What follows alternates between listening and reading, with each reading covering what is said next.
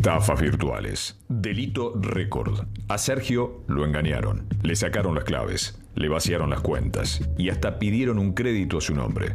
Pero no terminó ahí. El banco quería cobrarle.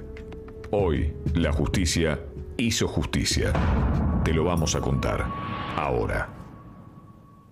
Esta semana te hablamos de muchos casos de estafas virtuales, pero aquí además hay un precedente jurídico. Claro, porque vos lo pasaste o conoces a alguien que lo pasó.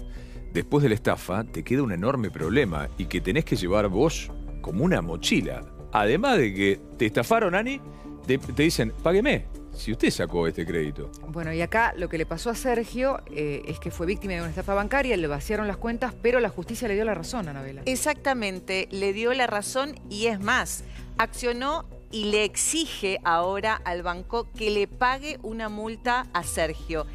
¿Qué pasó con Sergio? Bueno, él eh, es Sergio Águila en mayo de 2020, plena pandemia.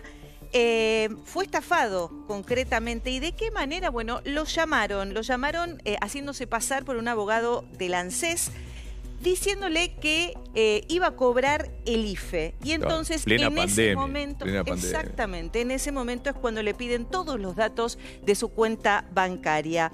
¿Qué es lo que le hacen? Le vacían toda la cuenta. Además le piden un préstamo en nombre suyo al banco y además piden un adelanto de haberes.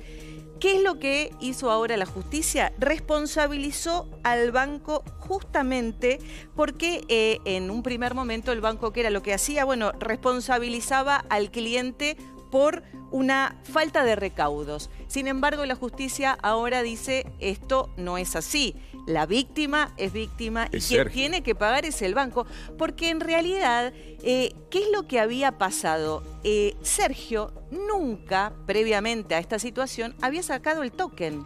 En ese momento, por primera vez, le piden telefónicamente que saque el token y a partir de ahí es donde le sacan absolutamente todo de sus cuentas y le piden este préstamo. ¿Y por qué piden esta multa? A pagar por el banco. Porque él siguió pagando el préstamo durante meses. Mira. Hablamos con el abogado. O le hicieron pagar el crédito que le había sacado el chorro. Exactamente. Ni siquiera contemplaron que realmente ese tipo no tenía la guita, que le había jubilado Recayó sobre él la responsabilidad. Totalmente. Les voy a decir más. Un jubilado que encima se tenía que hacer eh, una operación cardíaca que eh, se tuvo que trasladar a la provincia de Córdoba para ser asistido por su hijo porque estaba atravesando por toda esta situación y encima tenía que seguir pagándole al banco. Increíble. Hablamos con el abogado que, lo asiste y que, por, por, supuesto, posibilitó esta demanda eh, y esto nos decía. Hay una pericia informática donde el perito Sebastián Correa eh, acredita que el Banco de la Provincia de Buenos Aires no cumple acabadamente con las funciones de monitoreo y control. El banco sostiene la culpa de la víctima, dice que entregó sus claves. Sin embargo, el doctor Gorostegui, basándose en la pericia, dice que no. Él dice que esto es una cuestión de defensa del consumidor, obviamente, por decirlo claramente, y que el banco tiene que velar en la protección de los fondos de su cliente. El banco le va a devolver todo lo que le sacaron de la cuenta debidamente actualizado por la tasa pasiva digital, que es la tasa más alta, a partir de la fecha de sentencia, una vez que esta sentencia quede firme, porque probablemente el banco la apele.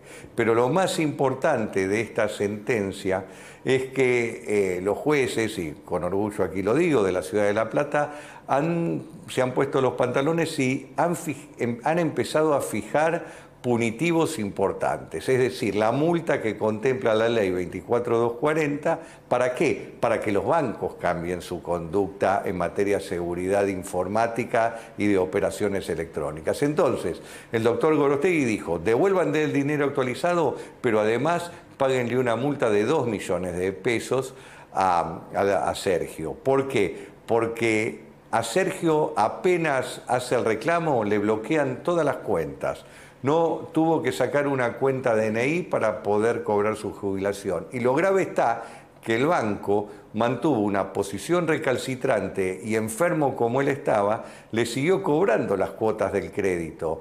Es decir, recién se produce el stop debit cuando sale una medida cautelar dictada por el propio Gorostegui al principio del proceso y confirmada por la Cámara. Eh, doloroso por donde se lo mire, ¿no?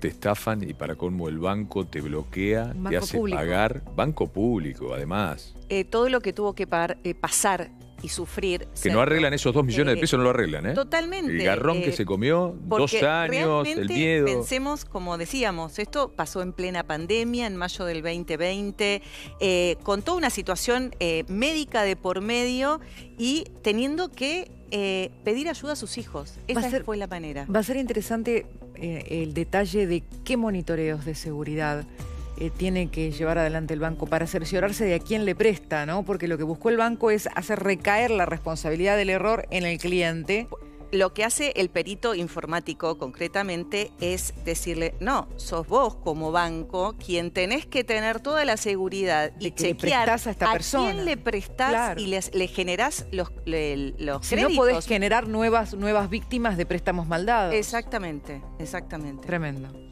Bien, un caso por lo menos sirve de antecedentes para esto, estafas virtuales. Es un delito récord en estos días. Eh, y va a servir este fallo de antecedente, ojalá, eh, para muchos otros que siguen con este padecimiento. Que además de que te chorean, además que te sacan toda la guita, el, banco te dice, garpa, papu. Las víctimas son víctimas en este caso. Claro, y un saludo al, jubilado que la pasó tan mal. Banco público, insisto, ¿eh? Banco público. Gracias, Ani. Ustedes.